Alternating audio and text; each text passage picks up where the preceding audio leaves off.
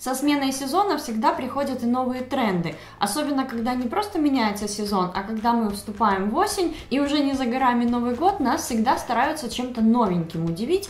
Я в последнее время очень пристально следила за всеми модными изданиями и смотрела, какие тренды повторяются, но вы знаете, проблема в том, что ни в одном источнике я не нашла расшифровку этих трендов, потому что все подается очень банально, а, в моде смоки, в моде стрелки, в моде красные губы, бы, и если описывать тренды вот такими большими категориями, то на самом деле отнести к трендам можно с очень большой натяжкой, потому что смоки, стрелки и красные губы это, наверное, самые главные классические макияжи. Поэтому сегодня я вам хочу рассказать о своем видении трендов и о своей интерпретации того, что нам показывают а, бренды в своих новых релизах, того, что мы видим на самых модных и стильных людях нашего мира. И я думаю, что вооружившись этой информацией, вы точно точно сможете выглядеть стильно в этом новом сезоне. Но перед тем, как мы с вами приступим, если вы здесь впервые, обязательно подписывайтесь на мой канал. Это можно сделать, нажав кнопку подписаться вот там вот внизу.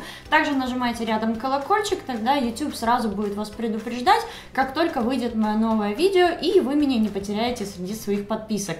Поэтому обязательно это сделайте и давайте приступать.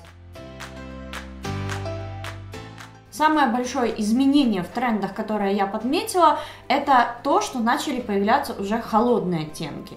Теплые оттенки были настолько доминирующими за последние пару лет, что мне кажется, рынок уже просто перенасытился ими.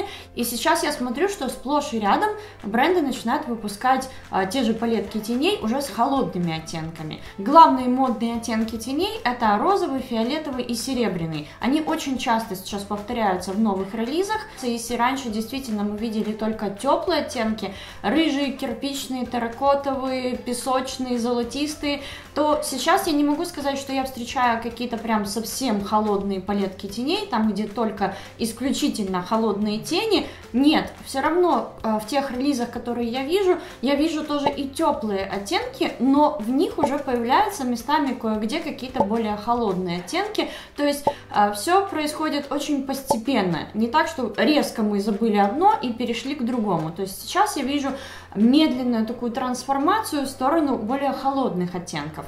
И хороший тому пример это палетка от Анастасии Beverly Hills Нарвина. Она, наверное, один из самых ярких примеров трендового макияжа 2018-2019. Если вы хотите какую-то качественную палетку теней, то это, скорее всего, будет отличным выбором для вас. Если же вы хотите немножко сэкономить денег, то обратите внимание на Makeup Revolution. Например, такая палетка, как Dragon's Heart, а, очень похожа на палетку Нарвина, но в то же время стоит гораздо дешевле. Также у Colourpop я сейчас наблюдаю, что выходят более холодные оттенки, вернее, теплые оттенки с примесью холодных тонов, поэтому если вы не хотите пока сильно погружаться в этот тренд, но хотите немножко его испробовать, то можете обратить внимание именно на эти бренды, потому что стоят они недорого, но в то же время качество у них не отнять. А что касается формы макияжа, будь то стрелка или смоки eyes, а, или любой другой макияж, который бы вы не сделали, все в принципе будет актуально. А, здесь нет каких-то ультра модных а, форм макияжа или ультра модных каких-то тенденций. То есть а главное, придерживайтесь более холодной гаммы, комбинируйте холодные оттенки с теплыми, и это как раз таки то, что сейчас на пике популярности. Брови тоже немножко подверглись изменениям. Слава богу, в прошлом году мы уже забыли о инстаграмных бровях. Брови начали становиться более естественными и натуральными. И если в прошлом сезоне больше были в моде именно пышные юные брови или более ухоженные брови, но все равно они были симметричными, то сейчас я все больше и больше наблюдаю тенденцию к тому, чтобы брови не выравнивать, то есть не стараться сделать из них близнецов, а когда вы идете к бровисту, естественно, бровист в первую очередь старается а, сделать брови симметричными, а у людей они редко бывают симметричными, на самом деле брови всегда, знаете, даже есть пословица, пускай они будут сестрами, а не близнецами. Вот сейчас как раз-таки этот тренд и процветает процветает, когда э, брови остаются асимметричными а, и такими, какие они, собственно, есть. Если у вас одна бровь, к примеру, немножко выше или она немножко более лохматая, все, отставляем ножницы а, и пинцеты подальше, потому что сейчас это наоборот подчеркивается. То есть все равно мы ухаживаем за нашими бровями, мы а, общую форму выдерживаем все равно бровей, никуда это не девается, то есть это не значит, что мы сейчас забываем об уходе за бровями, нет. Но в то же время мы сейчас не пытаемся сидеть с линейкой и полностью выравнивать все линии, чтобы а, полную симметрию соблюсти.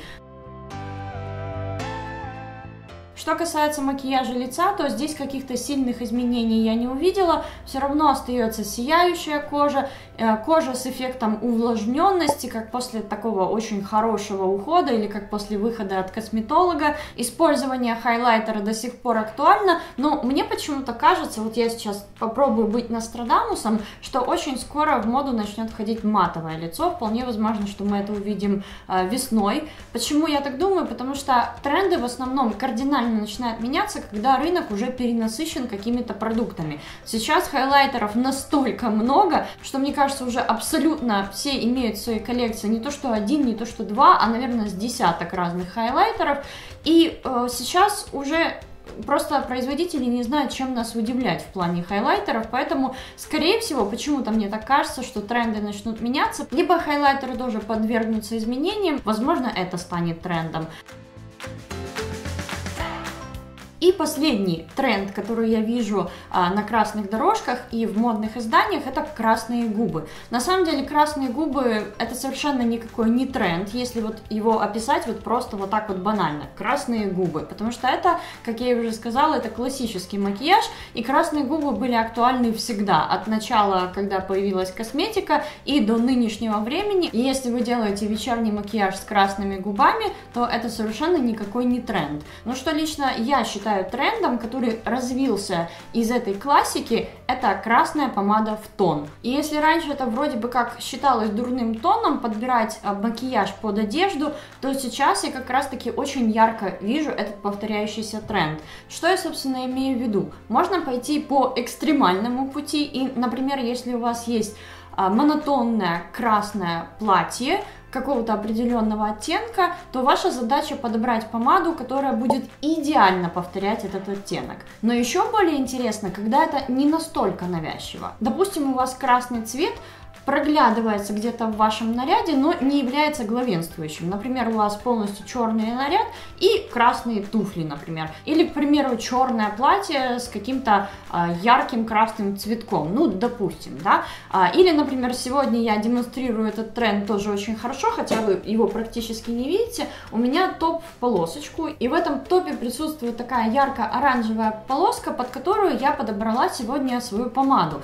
И вот как раз вот такие вот небольшие акценты очень красиво выглядят, и на мой взгляд это выглядит еще более интересно, потому что э, Хотя основной, в принципе, мотив у меня здесь это такой зеленый, хаки, телесный какой-то оттенок. То есть вот этот оранжевый, это не первое, что мы видим, когда мы смотрим на мой топ, но в то же время, когда смотришь и помада перекликается с каким-то вот таким вот небольшим элементом, ты это как-то даже подсознательно замечаешь, и сразу видно, что это было сделано намеренно. Обязательно напишите мне в комментариях, что вас заинтересовало больше всего, и что бы вы хотели на себя примерить. А может быть, что-то из этого уже присутствует в вашем макияже. В общем-то, напишите, мне очень интересно будет об этом узнать. Если вы еще не подписаны на мой канал, обязательно подписывайтесь, это можно сделать вот здесь, вот нажав на эту круглую иконку.